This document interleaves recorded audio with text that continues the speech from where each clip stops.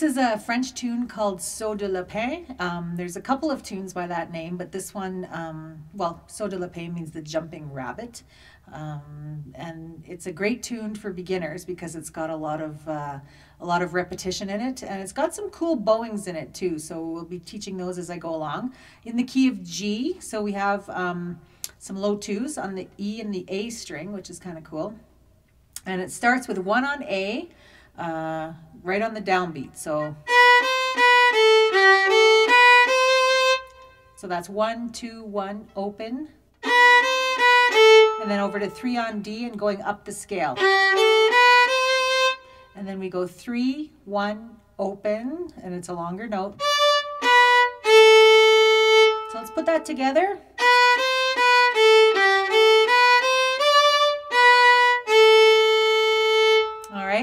Get you a little bit prepped for the uh, advanced tutorial and we're going to go ahead and slur those first three notes.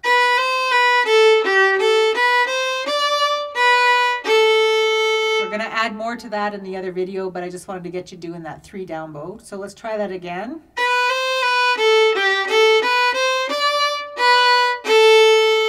Now we do some other funky bowing right here. We're going to go...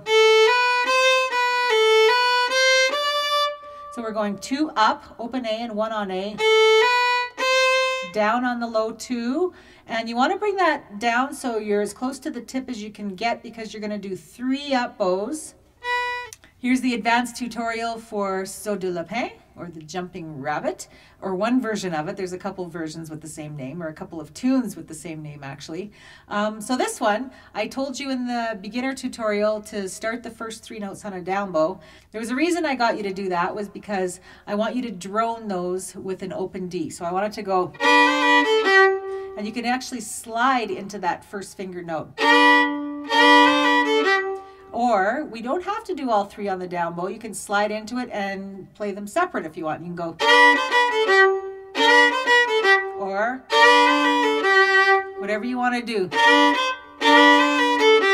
Doesn't really matter. Just kind of have fun with those first few notes because not very often a fiddle tune starts cold on the downbeat like that. Most times we have pickup notes, but we don't in this one. So you'd count one, two, three, four coming right in on that downbeat. So, um, so let's work out some other stuff, see what happens. There's that fourth finger on the D with the open A. I'm sliding with that finger.